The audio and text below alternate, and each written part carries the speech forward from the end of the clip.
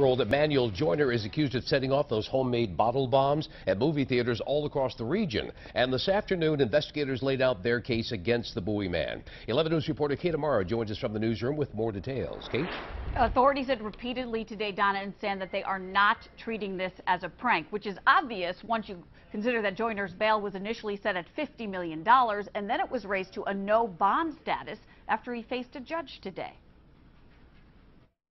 After three months, five movie theaters, and six bottle bomb explosions, authorities say they finally nabbed their man. Moviegoers can indeed rest a little easier with the arrest of 20-year-old suspect Manuel Joyner. And to underscore that point, they staged Monday's announcement in front of one of the crime scenes, the Magic Johnson movie theater in Largo, where a bottle bomb exploded on May 24th.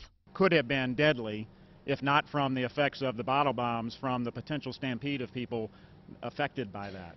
Manuel Joyner is suspected of setting off bottle bombs at movie theaters across the region, from the Cinemark Theater at Arundel Mills Mall back in March to two incidents at the AMC Theater in Tysons Corner, Virginia. The first on May 18th, the second a week later. Two people were splashed with components of that device, were treated on scene, decontaminated, and released.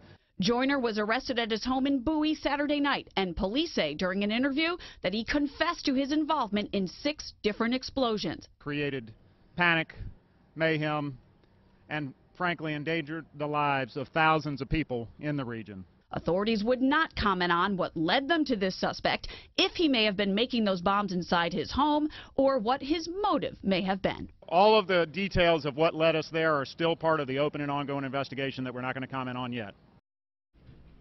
And because of that, the long list of felony charges Joyner's already faces will likely grow. Just today, Anne Arundel County authorities filed four felony charges against him in the Arundel Mills case. Live in the newsroom tonight, I'm Kate Amara, WBAL TV 11 News. All right, Kate, thank you.